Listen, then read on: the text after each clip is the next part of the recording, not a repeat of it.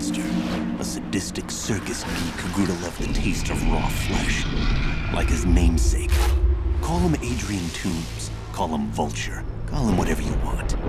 I'll always call him the bastard who killed my uncle. And not just killed.